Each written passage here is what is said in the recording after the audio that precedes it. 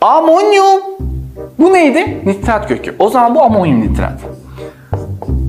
Amonyum nitrattır. Nitrat. Çiftçilikte uğraşanlar bilir arkadaşlar amonyum nitrat, azotlu gübrede.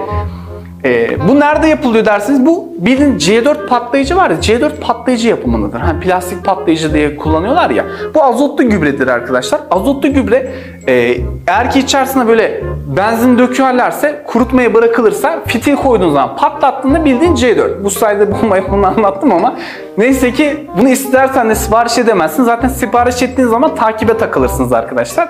Mesela amonyum nitrat, bol bir miktarda amonyum nitrat söylediğinde polis gelir der ki ne yapacağım bununla? Yani anında takibe takılırsınız burada. Çünkü bu gerçekten ciddi bir patlayıcıdır arkadaşlar. Yani C4 bildiğiniz hani e, bir binayı havaya uçurabilecek kuvvette bir patlayıcıdır. Gitgide betimliyorum patlayıcıyı. Niye böyle yapıyorum ben de bilmiyorum da. Öyle bir şey işte arkadaşlar. Yapamazsınız zaten sıkıntı yok. Şimdi bunu bu arada kuruturken mesela şey tehlikesi var.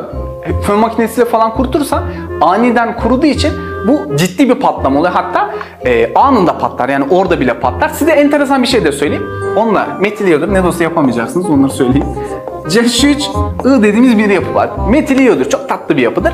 Bunun özelliği ne biliyor musunuz arkadaşlar? Metal iyodür üretildiği zaman ilk önce bir çözeltinin içerisinde yaparsın. Çözeltiden sonra kurumaya bırakırsın işte sıkıntı kuruyunca. Niye biliyor musunuz? Kurumuş metil iyodürün üzerine bir tane e, kuş tüyünü alın şöyle bırakın. Geldiği anda güm diye patlar. Nasıl bir patlayıcı biliyor musunuz?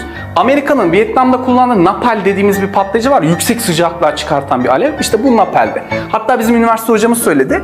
E, ODTÜ mezunu. Diyor ki biz ODTÜ'de diyor hocamız diyor metil iyodür üretti. Ama normalden fazla diyor. Yani e, bunun çok ufak bir gramı bile çok büyük e, patlamalarla sonuçlanırken sallıyorum o zamanki söylediğini hatırlıyorum. Bir kiloya yakın bir metil iyodür yapmış. Diyor ki hoca diyor her sabah diyor uyandığında diyor ilk diyor şeye bakıyor diyor gazeteye bakıyor bakayım okul uçmuş mu diye bakıyor. İyi uçmamış bugün de diyor gidiyoruz diyor.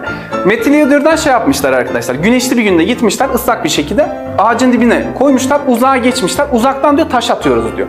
Taş geldiği anda güm diye patlıyordu böyle bir şey yani kimyacılar böyle manyak hareketler sergileyebiliyorlar böyle şeyler de oluyor.